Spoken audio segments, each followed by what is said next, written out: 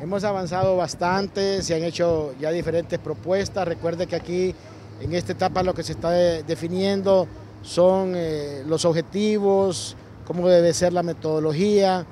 quiénes deben ser los convocantes, los proponentes a este diálogo, aún cómo deben ser eh, eh, los aspectos de, los procedimientos, ¿verdad? Y hemos avanzado bastante, en el camino se dan diferentes temas, hay que recordar hacia dónde hay que llegar, los quizás los tres grandes temas, los temas fundamentales tienen que ver con los aspectos electorales, con reformas profundas del Estado y con el tema de derechos humanos. Pero en el camino van dándose algunos, hemos eh, coincidido ya que hay que considerar una, una comisión de alto nivel que pueda acompañar las acciones que el gobierno está haciendo a través de la Secretaría de Derechos Humanos y de los diferentes organismos que están continuando con los procesos de investigación de todos los acontecimientos que se han dado. Recuerde que han habido eh, aproximadamente 15 mil millones de lempiras en daños hacia el sector privado.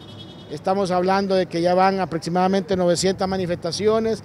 algunas han sido violentas, han afectado eh, a otros compatriotas y eso incurre en una ilegalidad y en algunos casos hasta en delitos, en otros casos ha habido violencia hacia los manifestantes de parte de algunas fuerzas de seguridad y todo eso tiene que ser eh, profundizado, investigado y hemos coincidido que debe haber una comisión que acompañe y que va a dejar los nombres en su momento, también darle continuidad y, el reconocimiento del protocolo que debe seguirse para que las manifestaciones no sean violentas. Hay un protocolo que lo hemos llevado ya al seno de esta comisión que estamos eh, integrando pues como una mesa de diálogo o de prediálogo y que en algún momento se va a formalizar cuando los que fueron ex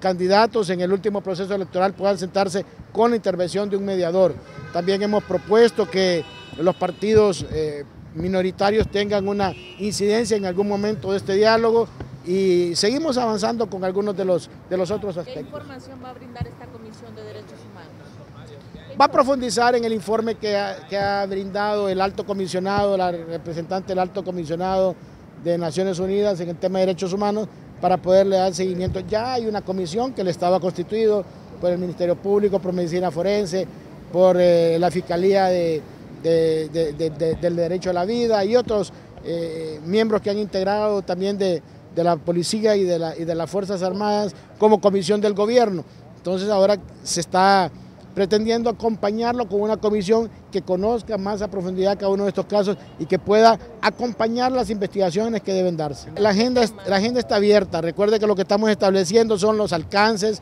la agenda, eh, la metodología, los grandes objetivos, los procedimientos, los convocantes, todos esos nombres. Entonces vamos avanzando, en algunos casos no somos tan ordenados en este asunto, en otros casos sí lo somos, pero lo importante es que vamos evacuando y que hay confianza que hay una generación de una confianza en los que estamos ahí y que Salvador Larrala tiene su representación, que Luis Zelaya tiene su representación, que eh, Juan Orlando Hernández tiene su representación en el Partido Nacional y el gobierno como gobierno también tiene su representación por medio del ministro de Valdías, que es el jefe de la delegación y de su servidor eh, que está acompañando en este diálogo.